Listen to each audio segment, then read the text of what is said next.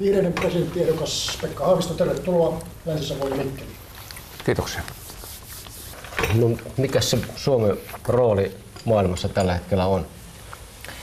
No, me ollaan tietysti Euroopan unionin jäsen, eikä me, nyt sanon näin, että emme siitä päästä mihinkään, eikä meidän siitä tarvitse lähteä mihinkään. Kyllä Euroopan unioni on meidän, meidän tavallaan semmoinen arvopohja. Me, me ollaan kytkeytyneitä näihin eurooppalaisiin maihin, jotka, jotka Euroopan unionissa on. Se on meidän tärkeä talousalue, se on meidän tärkeä arvo, arvoalue, mutta, mutta ehkä asia, johon pitäisi enemmänkin kiinnittää huomiota, on se, että meidän uudet markkinat on näissä nousevissa kasvavissa talouksissa. Ne on Venäjä, Kiina, Itä-Aasian maat, Latinalainen Amerikka. Nyt Afrikkakin alkaa nousta. Siellä on erittäin kovat kasvuluvut Nigeriassa, Ganassa ja, ja sieltä aletaan kysellä, että missä ne suomalaiset viipyy. Viipyy. Että kyllä meidän tässä, tässä mielessä pitää tasaisesti etsiä markkinoita eri puolilta. Ja tietysti Venäjän kasvu nyt tässä meidän lähellä on, on ollut sellainen, joka on vauhdittanut monien suomalaisten yritysten toimintaa. Mutta meillä on tietysti muitakin avuja maailmalla. Me ollaan hyviä joillakin alueilla ja, ja itse ajattelen silloin ympäristöteknologiaa, cleantechia, joka on Suomessa selvästi tämmöinen kasvualue. Maailmassa puhutaan paljon talouksien vihertymisestä. Obaman kampanjan myöten on puhuttu tämmöisestä uudesta vihreästä taloudesta. Ja, ja tähän alkaa näkyä nyt Aasiassa. Tämä näkyy niillä alueilla Afrikassa, jossa, jossa liikun, että siellä kysytään ympäristö, hyvää ympäristötekniikkaa, uusia sovellutuksia, aurinkoenergiaa, tuulienergiaa. Ja mä uskon, että me suomalaiset ollaan tässä aika hyviä. Uutta vesiteknologiaa myöskin, jossa suomalaiset on perinteisesti ollut niin hyviä sekä veden puhdistuksessa että erilaisissa veden käsittelyssä ja säästötekniikassa. Ja, ja tietysti kun tuossa oli tuo Jorma Ollilan Suomikuva-työryhmä viime vuonna ja, ja sitten sanottiin, että Suomen brändissä on nyt kolme kovaa, jotka oli vesi, luomu ja rauha. Ja mua vähän hymyilytti, kun mä ajattelin, että jos nyt oltaisiin vihreiden perustavassa kokouksessa 80-luvun alussa ja sanottaisiin, että 30 vuoden päästä Suomen johtavat teemat on puhdas vesi, luomu ja rauha, niin kyllähän siellä olisi naurettu. Mm. naurettu. Ja mm. nyt ne on. Nyt ne onkin tavallaan se meidän sitä kovinta osaamisaluetta. Näin se maailma muuttuu. Ja, ja minä allekirjoitin täysin sen Suomen kuva-raportti. Minusta ne on hyviä teemoja, puhtaat elintarvikkeet. Mehän voidaan ajatella jopa Pietaria tuommoisena lähimarkkinana ja, ja Venäjää, kun siellä keskiluokka kasvaa ja, ja vaaditaan parempaa, parempaa laatua elintarvikkeisiin. Ja, ja viimeisenä, mutta ei vähäisimpänä, niin tämä rauhan äh, rooli, kyllähän se Suomelle sopii tavattoman hyvin, että me ollaan maailmassa myös tämmöinen rauhantekijä ja rauhan neuvottelu. Meillä on valtavan hieno perinne tuossa presidentti Ahtisaaren ja Elisabeth Rehnin työssä, työssä ja jo miksei aikaisemmaltakin ajolta Kekkosen etykissä. etykissä. Ja, ja kyllä me voidaan nyt sitten osana tätä meidän turvallisuusneuvostokampanjaa ja, ja osana meidän hyviä suhteita eri puolille, niin tehdä myös näissä asioissa paljon. Ja, ja minusta se sopii meidän tähän kansainväliseen kuvaan hyvin. hyvin ja, ja ympäristö ja rauha on sellaisia asioita, joilla kysyntä maailmassa ei ole lakannut, eikä varmaan vähän aikaa lakkaa. Ja, ja niissä me voidaan suomalaiset olla myös liikkeelle. Mikäs presidentin rooli tässä kaikessa on? Presidentillähän on, on tavallaan kolme keskeistä roolia uudenkin perustuslain olossa. Eli, eli johtaa ulkopolitiikkaa yhteistoiminnassa hallituksen kanssa, toimii puolustusvoimien ylipäällikkönä ja presidentillä korkeata nimitysvaltaa se oikein, esimerkiksi oikeuslaitoksessa puolustusvoimissa. Ja, ja tämän lisäksi tietysti presidentti on arvovaikuttaja, mielipidevaikuttaja, mielipidejohtaja.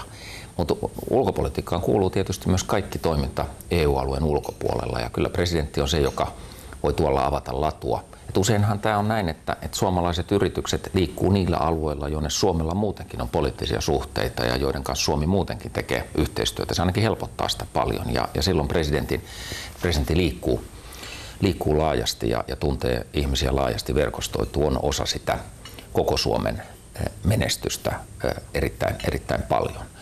Ja meillähän on uudessakin perustuslaissa säilytetty vielä mahdollisuus, että presidenttiä voidaan poikkeuksellisesti käyttää myöskin sitten EUn kolmas maa huippukokouksissa, jos halutaan Venäjä EU-kokouksissa. Eihän tätä ole poissuljettu, poissuljettu mutta en, en näe kyllä sellaista roolia presidentille enää, että hän olisi jollain tavalla niin kuin hallituksen haastaja. Että, että olen huomannut, että jotkut ehdokkaat, ehdokkaat etsii sellaista vähän niin kuin känkkäränkkä presidentin roolia, että, että presidentti alkaisi toimia omana valtioinstituutionaan sisäpoliittisissa asioissa, niin, niin kyllä sellaisen aika on ohi.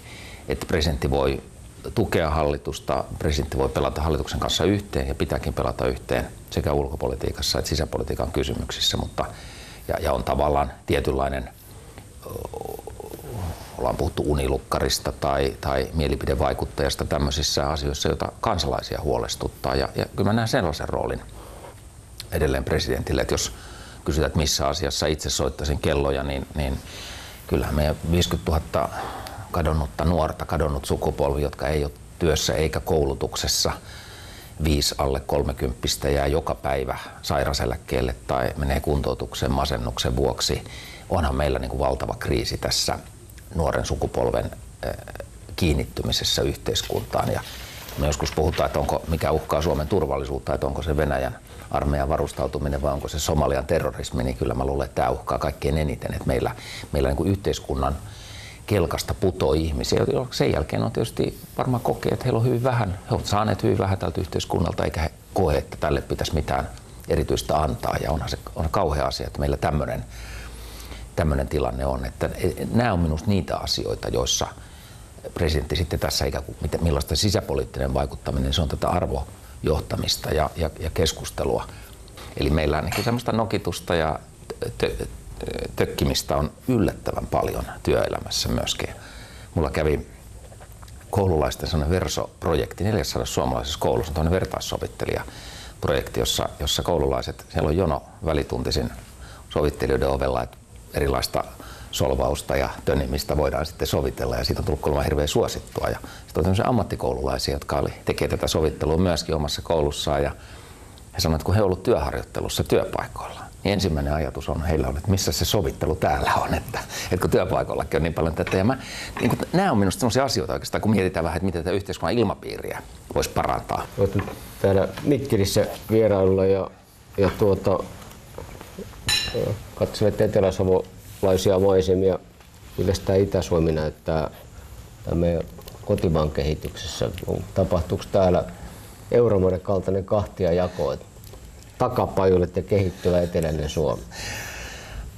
Mä olen itse ajatellut, että Itä-Suomen vahvuudet on, on oikeastaan juuri niitä niissä asioissa, joissa, joissa tässä puhuttiin, että, että Suomi tulevaisuudessakin on vahva, eli, eli ympäristöosaamisessa, cleantechissä, myöskin luomutuotannossa, jos ajattelee maatalouden osuutta meidän uusissa markkinoissa, puhtaiden elintarvikkeiden osalta. Minusta tässä, tässä kaikessa voidaan mennä eteenpäin, mutta tietysti myös sit koulutus ja koulutuksen säilyminen täällä on hirveän, hirveän tärkeää, että, että eh, jos, jos ei ole koulutusta näille aloille ja jos ei ole opiskelijoita, jos ei ole nuoria ihmisiä, niin, niin silloin tietysti kehitys, kehitys hyytyy.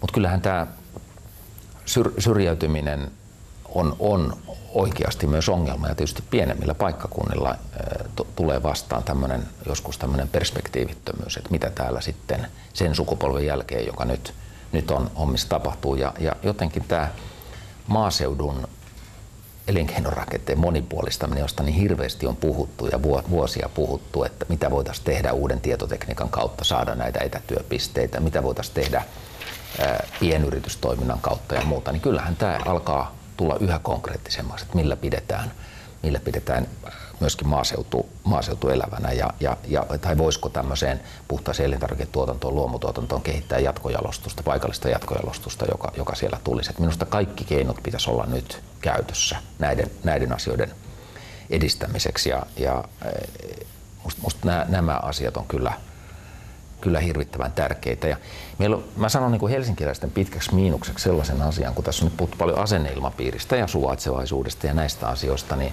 olin tuolla Joensuussa, Joensuussa ja siellä paikallinen toimittaja sanoi, että luuleeko siellä Helsingissä, että me ollaan ihan juntteja kaikki täällä, täällä että, että, mm, niin kuin, että, että, se, että se on kääntynyt tämä keskustelu semmoiseksi. Ja mun täytyy sanoa, että kaikkein suvaitsemattomimmat puheenvuorot minä kuulen Helsingissä enkä niin kuin silloin, kun liikkuu, liikkuu maakunnassa ja, ja muualla. Ja, ja usein ne liittyy siihen, että ihmiset niin kuin projisoi, että täällä pääkaupungissa ollaan niin hirveän suvaitsevia, mutta siellä, siellä täällä tai tuolla ollaan niin kauhean suvaitsemattomia. Tämä ei ole minun kuva Suomesta. Ja, ja minusta on, on niin kuin vaarallista ruokkia tällaisia, tällaista niin kuin ajattelumallia, että, että voidakseen, voidakseen tota, elää suvaitsevaista elämää ja, ja, ja modernien arvojen mukaisesti, niin täytyy pakkautua pääkaupunkiseudulle. Ei se näin ole.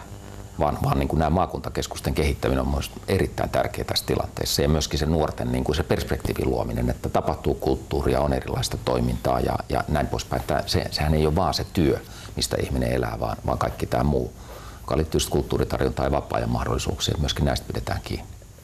Tästä Itä-Suomessa nuo, nuo Venäjä ja lähialueen suhteet elinkeinopoliittisesta näkökulmasta tämä maakunta Etelä-Karjala ajaa esimerkiksi uutta rajanylityspaikkaa Parikkalaa. Mikä tämän kaltainen kehitys? No minusta se Parikkala idea on hyvä, että, että siihen saataisiin. Tietysti nämä on nykyään aina myös sitten EUn ja, ja, ja Venäjän välisiä rajanylityspaikkoja, että pitäisi saada kaikki, kaikki mukaan näihin, näihin projekteihin ja näihin liikennekäytäviin ja hyödyntää myös kaikin tavoin sitten EUn, EUn panostusta näissä. Mutta minusta olisi hyvä, että rajanylityspaikka tännekin, tännekin tulisi. Ja sitten on niin huomannut että asenneilmapiirissä olin esimerkiksi Haminassa ja Lappeenrannassa hiljakkoin ja, ja, ja huomasin, että esimerkiksi Lappeenrannassa on niin kuin osattu hyödyntää sitä Venäjän läheisyyttä hyvin dynaamisesti ja, ja ottaa siitä ikään kuin se hyöty, hyöty irti ja, ja bisnespuolella miettiä, mitkä on ne yritysmuodot ja tämän tyyppiset. Ja minusta tätä kannattaisi Suomessa ehkä vielä enemmän miettiä, että, että miten niitä kuluttajia, jotka siltä puolelta tulee, palvellaan tai miten niitä liikeyhteyksiä, mitä voi tuohon Venäjän lähialueelle luoda, luoda palveltaisiin. Vaikka tämä hallitus nyt sitten jonkin verran on, on ruvennut lähialueyhteistyön varoja leikkaamaan, niin on niin kuin sanonut, että kyllä tämä kansalaisjärjestöyhteistyö on myöskin mahdottoman tärkeää, ettei, ettei se ole vain se, niin kuin liiketoiminta ja poliittinen yhteistyö, vaan että, että suomalaiset liikkuu myös tuossa lähialueella ja tutustuu ja tietää sosiaaliset ongelmat ja tietää ympäristöongelmat ja on kulttuuriyhteistyötä ja kaikkea tätä, niin sehän koko ajan madaltaa tätä yhteistyön kynnys. Tulee enemmän ihmisiä, jotka tuntee Venäjän, tuntee lähialueet, tietää mitkä mahdollisuudet siellä on. Niin tässä mielessä tämä kansalaisjärjestöpuoli minusta on, on hirveän tärkeä.